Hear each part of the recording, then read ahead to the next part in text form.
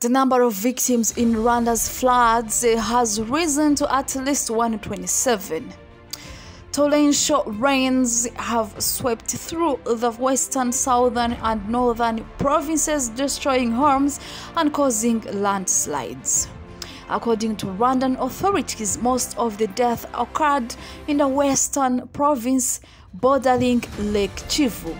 Rwanda's minister in charge of emergency management, Marie Solange Kayisire, announced that emergency relief was already on the way.